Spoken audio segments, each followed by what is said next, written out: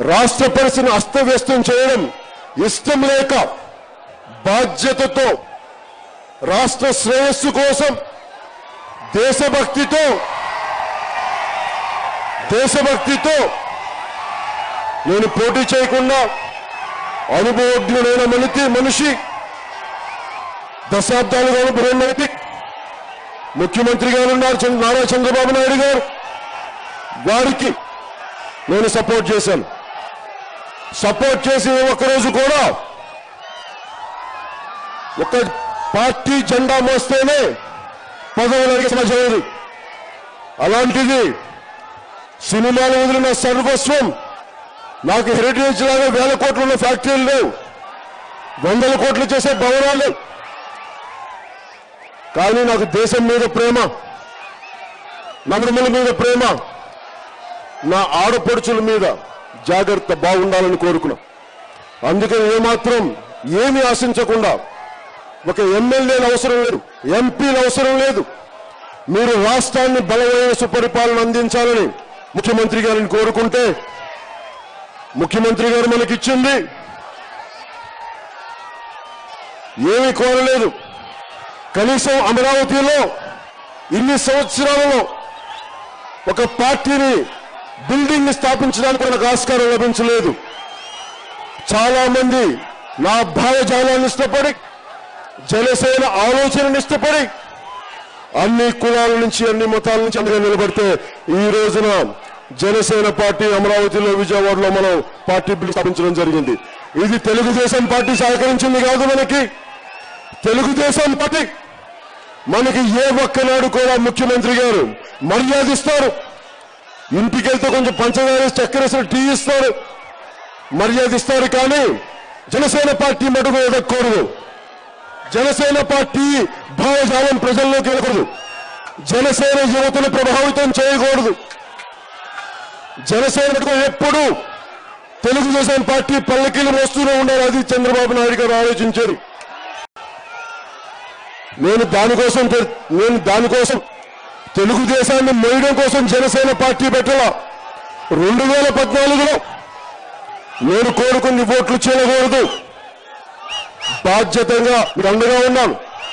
అలాంటి నన్ను ముఖ్యమంత్రి గారు ఏ రోజున కూడా ఒక స్పెషల్ కేటగిరీ స్టేటస్ ఇష్యూలో ఒక సలహాలు సంప్రదింపులు అడగలేదు.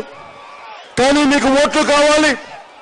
జన సైనికులు మీకు అండగా కావాలి. పవన్ కళ్యాణ్ దేశభక్తుడు జన సైనికులు గొప్పవారు మాట్లాడారు రెండు వేల పద్నాలుగు ఎలక్షన్స్లో కానీ ఏ రోజులు కూడా మాట్లాడతారు రెండు వేల మొన్న పద్దెనిమిదిలో మార్చిలో తెలుగుదేశం పార్టీ అవినీతి గురించి మాట్లాడుతూ ఉంటే ముఖ్యమంత్రి గారు అంటా ఉన్నారు సడన్గా ఎందుకు మారుతాం? సడన్గా ఎందుకు మారుతాం? ముఖ్యమంత్రి గారు తెలీదా? నేను చెప్పలేదా మీకు? ఎన్ని ఎన్ని రకాలుగా చెప్పాను మీకు? కానీ వారు పట్టించుకోవాలా ఈ రోజున ఏ మూలకెళ్ళినా ఎక్కడికెళ్ళినా ఉత్తరాంధ్ర నుంచి ఇచ్చాపురం నుంచి ఏ మూలకెళ్ళినా కనీసం మౌలిక వసతులు లేవు మౌలిక సదుపాయాలు లేవు నా కష్టం అని తెలుసు పాలన. ముఖ్యమంత్రి గారికి స్థానంలో కూర్చొని ఒక అనుభవజ్ఞుడు కావాలి.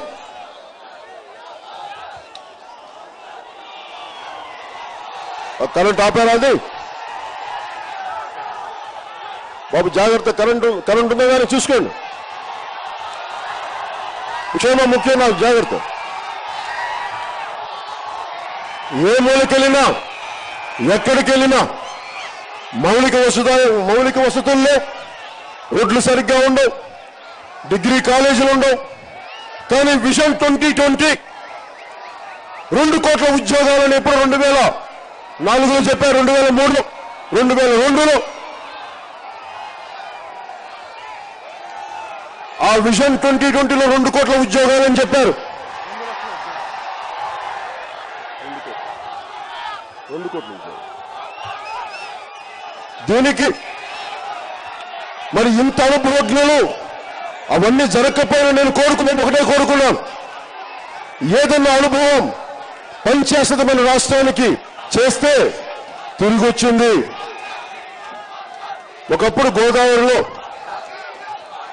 గోదావరి అందాలు గోదావరి ఇసుక తమిళ కానీ ఈరోజు ఏ చూసినా ఇసుక దోపిడీలు ఇసుక మసాలు ఎటున్నా కానీ ఏ మూలకెళ్ళినా అవి జన్మభూమి కమిటీలా గూండా కమిటీలో నాకు అర్థం కావట్లేదు. అవి జన్మభూమి కమిటీలా దోపిడీ కమిటీలా అని అవి జన్మభూమి కమిటీలో వ్యవస్థను నిర్వీర్యం చేసే కమిటీ కమిటీలో నాకు అర్థం కావాలి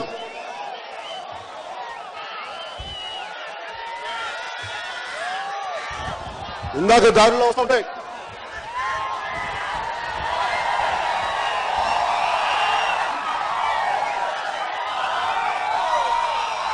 ఇందాక మన విజయవాడ నుంచి దారిలో వస్తూ ఉంటే మళ్ళీ మీరు బాబు గారు మళ్ళీ మీరు రావాలని చెప్పి ఎక్కడున్న హోర్డింగ్స్ ఉన్నాయి. వచ్చి ఏం చేస్తారండి మీరు? మళ్ళీ వచ్చి ఏం చేస్తారండి మీరు? నేను ఏమి ఆశించకుండా జనసేన పార్టీకి మీకు ఇంత అండగా ఉంటే పవన్ కళ్యాణ్ బూతులు తిట్టించారు. పవన్ కళ్యాణ్ తల్లిని దూషించారు. అది మాకు ఇచ్చింది గిఫ్ట్లు. సరే ప- వ్యక్తిగతంగా జనసేన పార్టీ ఎదగకూడదు. జనసేన చంపేయాలి పవన్ కళ్యాణ్ నిరుత్సాహపరచాలి పవన్ కళ్యాణ్ భయపెట్టాలి.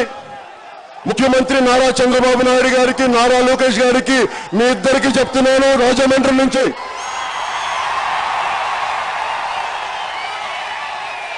పద్దెనిమిదేళ్ళ వయసులో దేశానికి సేవ చేయడానికి సమాజానికి అండగా సేవ చేయడానికి నేను పద్నాలుగేళ్ళ వయసులో నిర్ణయించుకున్నాను. అది ఒక మా అన్నయ్యకి తెలియదు ఒక మా నాన్నకు తెలుసు మా అమ్మకు తెలుసు. నేను రాజకీయాలను అర్థం చేసుకొని వచ్చాను. మాట్లాడితే Pawan Kalyan cinema actor cinema actor అంటారు. అరే మీ కొడుకు ఏం తెలుసు అండి లోకేష్ గారికి? పంచాయతీ ఎన్నికల్లో పోటీ చేసిన వ్యక్తిని పంచాయతీ రాజ్ శాఖ మంత్రిగా చేశారా. మీరు?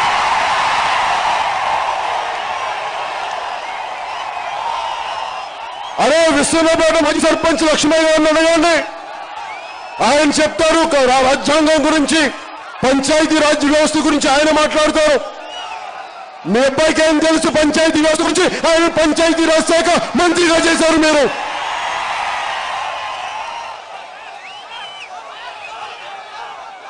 ఎక్కడైనా సరే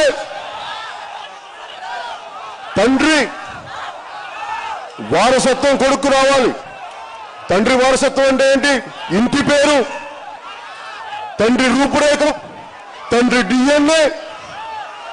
తండ్రి ఆస్తులు పాస్తులు. తండ్రి అనుభవం కొడుకు వస్తుందా? అరే మీ కొడుకుని ముఖ్యమంత్రిని చేయడానికి జనసేన మీకు మీకు కాపు కాసింది మీకు?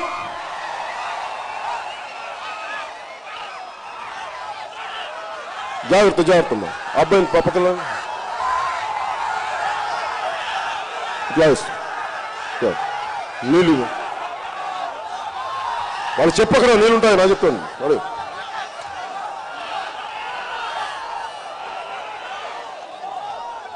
ముఖ్యమంత్రి గారు విజన్ ట్వంటీ ట్వంటీలో రెండు కోట్ల ఉద్యోగాలు అంటే అప్పుడే సరదాగా చెప్పారు. ఈ మధ్యన అడిగాను ఇచ్చాపురంలో. ఒకళ్ళని అడిగాను. ముఖ్యమంత్రి గారు నిరుద్యోగం పాల్గొలుతా ఉన్నారు కదా రెండు కోట్ల ఉద్యోగాలు ఇస్తా ఉన్నారు అదే విషయం ఇంకా బాగా చేస్తారని చెప్పారు మళ్ళీ ముఖ్యమంత్రి. అక్కడ ఇచ్చపురంలో ఒక పెద్ద ఆయనతో మాట్లాడుతూ ఉంటే రోడ్ సైడ్ బండాపి వాళ్ళ అబ్బాయి పక్కన ఉన్నాడు. ఆయన అడిగా చెప్పాను బాబు వస్తే జాబ్ వస్తుంది అన్నారు కదా ఏమంటారంటే ఆ పెద్ద ఆయన చెప్పింది ఒకటే మాట అన్నారు జీలకర్రలో కర్ర లేదు నేతి బీరకాయలో నెయ్యి లేదు బాబు జాబులో జాబు లేదని చెప్పారు ఆయన